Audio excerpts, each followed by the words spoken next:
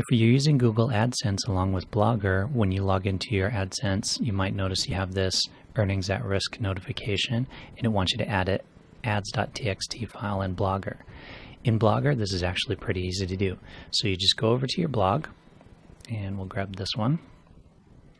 So from the Blogger blog, go down to settings and then you want search preferences. In search preferences, you've got this field for custom ads.txt.